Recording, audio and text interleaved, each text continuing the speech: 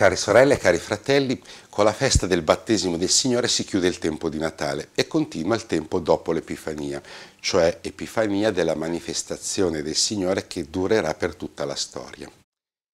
Il battesimo al Giordano di Gesù segna l'inizio della sua cosiddetta vita pubblica.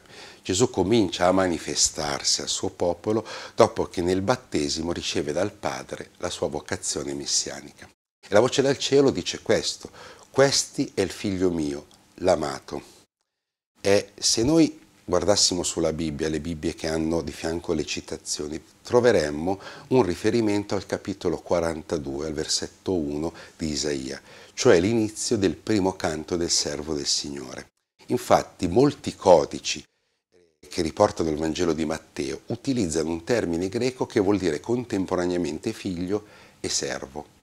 La vocazione di Gesù è quella di essere il figlio servo amato dal Padre, affinché tutti ci riconosciamo figli nel figlio e servi nel servo.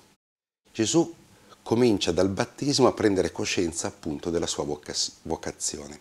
E battesimo, che significa immersione, eh, vorrà dire che Gesù comincerà ad immergersi nella sua vocazione comprendendo giorno per giorno che cosa significhi per lui essere figlio e servo di Dio Padre, fino a quella piena epifania, quella piena manifestazione che sarà la sua morte in croce.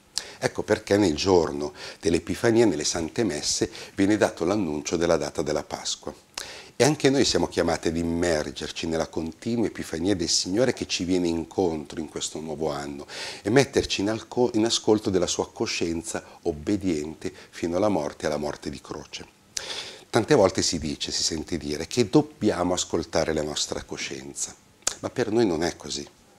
Siamo invece chiamati a metterci in ascolto e a seguire la sua coscienza, la coscienza di Gesù, per conformare l'unicità nostra del nostro cuore al suo e, e convertirci alla logica del Gesù, figlio, servo, umano, che è quella logica che dicevamo all'inizio di questo tempo, del tempo di avvento, del tempo di Natale, del dono di sé.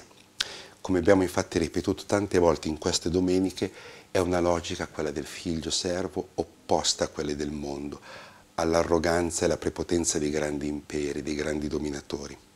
È un cammino affascinante e salvifico che ci fa crescere come figli e fratelli e sorelle amati dal Signore.